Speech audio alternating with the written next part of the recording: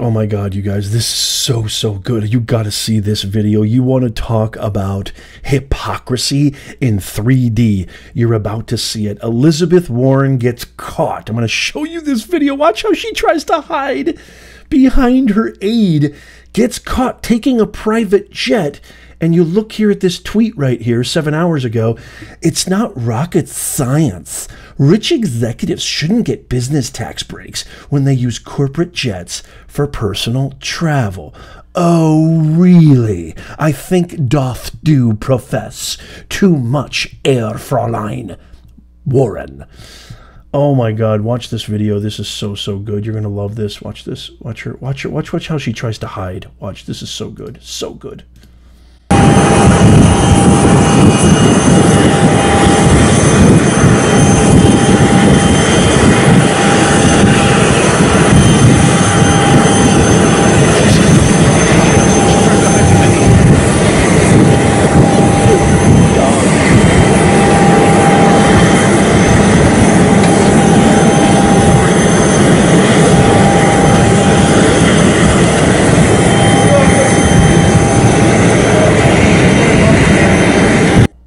Oh my God. Oh my God. Oh my God. Yeah, they shouldn't be getting tax breaks. You're right. You're right, Warren. You're right. This is what I mean, y'all. This is the whole purpose of this channel to bring to light these people. They advocate for climate change. They advocate, we should tax the rich. You know, Elizabeth Warren is worth hundreds of millions of dollars, yet her salary is less than $200,000 a year. That math ain't mathin', okay? It's just not mathin' at all.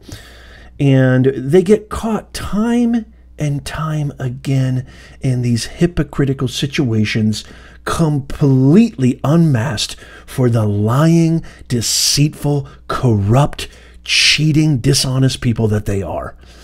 Don't believe everything you read, y'all. Don't believe everything you read in mainstream media, legacy media. They are all part of the same consortium. People are finally starting to wake up. People are finally starting to come to their senses, and I'm here for it all day, every day. Make sure you follow. Make sure you subscribe. Subscribe to our free newsletter in the uh, description and in the comments. It's in my bio on TikTok and other places. Subscribe to our free newsletter. Just come to YouTube and make sure you subscribe uh, uh, uh there, and you won't miss a thing. Thank you so much for watching. Uh, I would love to hear your thoughts now. I want to throw this into the comments. What do you guys think? What other stories, what other uh, episodes, what have you noticed? What have you read that just reeks of hypocrisy?